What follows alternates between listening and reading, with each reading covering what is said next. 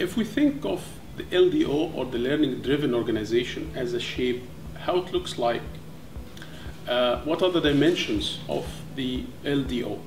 Uh, I think the best or the easiest way is to think of the learning driven organization as a triangle, and this triangle would have, of course, three legs. These three legs forming are forming the uh, dimensions or the sides of uh, the different types of learning. Uh, the first leg is the individual learning, second is the team learning, and third is the organization-wide learning. And they, all of them, of course, they intersect and they complement each other to form the final shape of the organization. Individuals in any organization uh, could play a major uh, role and strategic role in uh, reinforcing the organizational learning because individuals are the learning agents of the organization. They are the connectors who absorb or acquire uh, the knowledge from all sorts, from different domains, from different areas, and they transform this learning into actions.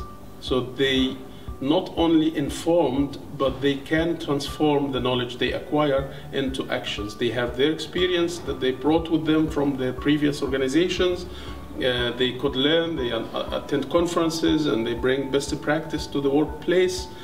Uh, so individuals reflect, they could learn from mentoring, they could be mentors to their colleagues, and also they could do coaching to other colleagues. So there are several ways where individuals can uh, acquire this actionable learning and help organization to improve their uh, performance and achieve their strategic objectives. Team learning or the second uh, leg of the organization triangle is how teams or departments within the organization learn and how they absorb and bring the individual learning of the team members to become uh, an organizational learning.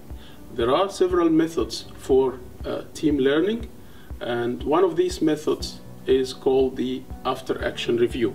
If we uh, type uh, in Google um, AAR or after action review, we will get tens of thousands of websites talking about this practice called after action review, which is very simple, straightforward, yet a very powerful mechanism for team learning.